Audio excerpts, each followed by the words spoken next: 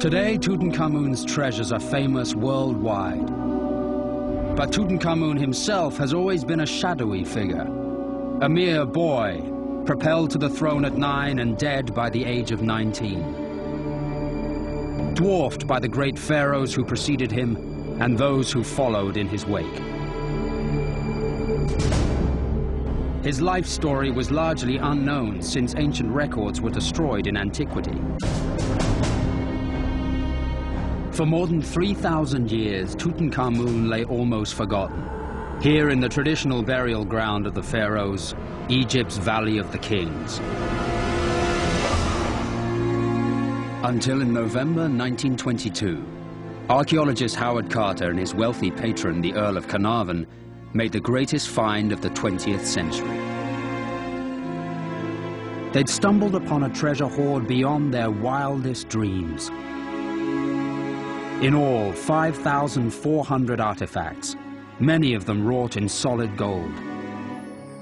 The Egyptians of Tutankhamun's era prized the precious metal because they believed it would survive for all eternity. They called it the flesh of the gods.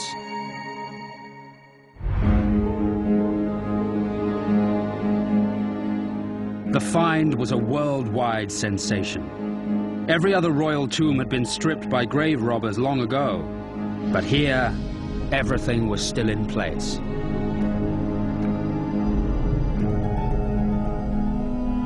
Lord Carnarvon had unearthed not only priceless treasures, everything Tutankhamun believed he would need in the next life was crammed into his tomb. Carnarvon's extraordinary find set Egyptologists on a race to fill those gaping holes in our knowledge of the mysterious boy king.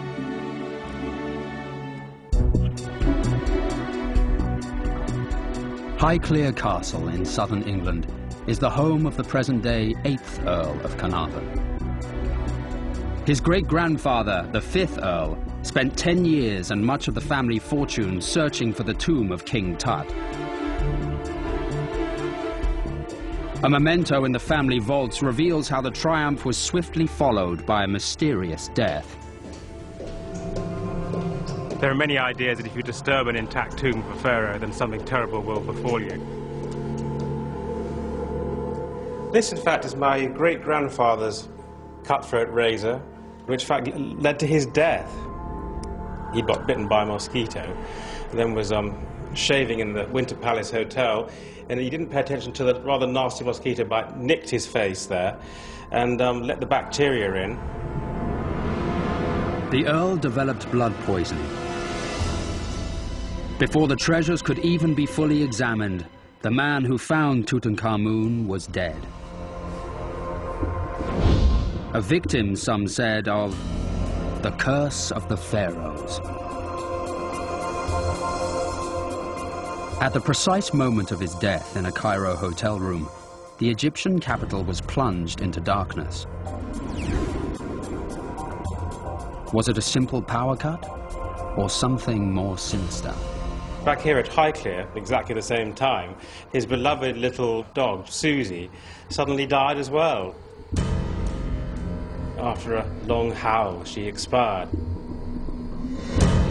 So there were some spooky things that happened at the time of the death of my great grandfather.